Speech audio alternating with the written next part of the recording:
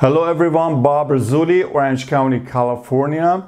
Uh, I'm here again with uh, another short video, this time about the API 653 and we're going to solve a problem, a similar uh, exam question.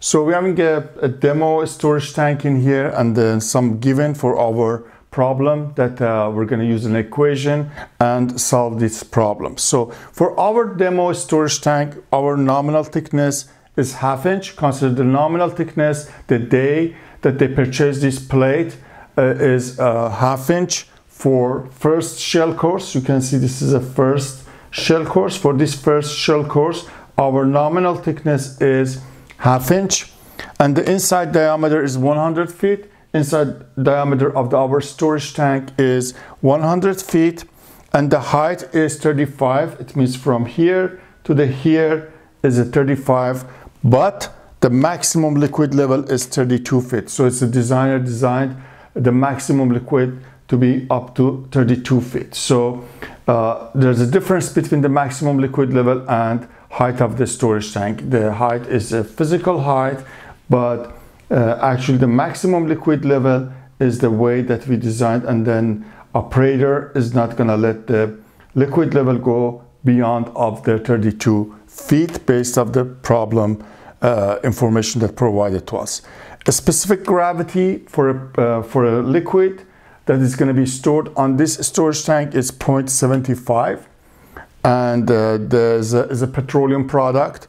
And the material of construction is ASTM A283 grade C which is a common uh, carbon steel material.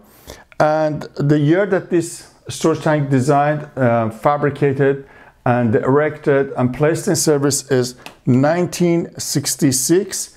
What was the design code? The design code was the API 650 based off the first edition of the 1961 code and then it's designed based off the basic standard. So any uh, storage tank designed based of the API 650 either is going to be designed based of the basic standard which is, is the main part of the code, or it's based of the annexes. So the problem says to us that it is a design based of the basic standard.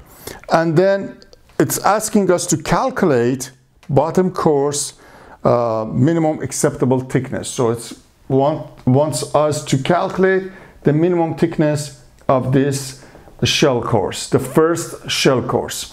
So we're gonna go to the uh, uh, to the section 4.3.3.1 and find this equation that you can see in here 2.6 times h which is a height and if the problem giving us the maximum liquid level is, we should consider it as a maximum liquid level d is inside diameter and the g is a specific gravity and uh, in denominator we have S, which is a maximum allowable stress value, and the E is a joint efficiency. So you can see here we have H here, which is going to be 32 feet because our maximum liquid level is 32 feet. And then uh, we're having a, a D, which is going to be inside diameter. We have this information. G is a specific gravity. We have it and then we're having the S that we have to find out from the this uh, table, which is a, uh, you can see I marked in here is you have to go from the table uh, actually uh, 4.1 and find maximum allowable stress for this material. So if you go to the, this table 4.1, you're going to see a table and all the material listed and it's going to say what maximum allowable stress you have to use for first course first course and second course is one value and for the upper courses there's another value. Since we are going to calculate for the first course then we're going to use the the one it's indicated as a first course and second course. So and that was 23,600. I read this from table 4.1. We also need to joint efficiency, the joint efficiency of these welds that you can see in here. We have to uh, put a joint efficiency here and that comes from a table on the API 653. We are in the API 653 is a table 4.2 which indicated for a design code first edition 1961 we have to use 0.85 so it might be this storage tank design based of the the, the other editions then it might be changed. So for finding the E you have to refer to the table 4.2 then we plug in the number 2.6 32 is the maximum liquid level.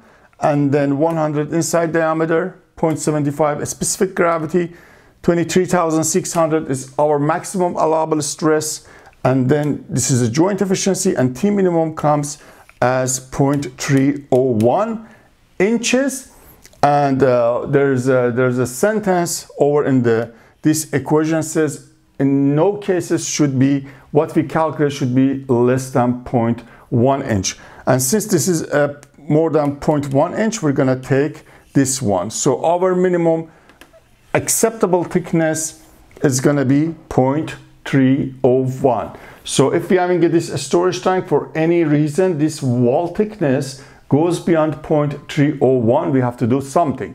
Either we're going to repair it or replace the shell course or um, any other or make a fitness for service evaluation and give a little bit more life for our storage tank. Up to 0.301 is okay. If you see the nominal thickness is 0.5 inch, 5 inch, and this is our minimum acceptable thickness. Nothing we mentioned about the actual thickness. The problem is doesn't say anything about the actual thickness. So we don't know at this time what is the thickness of this because the problem there's no information about the actual thickness. We know the first day back in 1966 when this storage tank went to the service, the wall thickness was 0.5. And we know from the first day that it shouldn't go below 0.301. So it was a sample exam uh, question how to calculate minimum acceptable thickness for any uh, for here is for first shell course, but the problem might asking you to calculate for second course, might asking you to calculate for third course, fourth course, or fifth or sixth. So this was a, a sample problem. See you guys in the next video.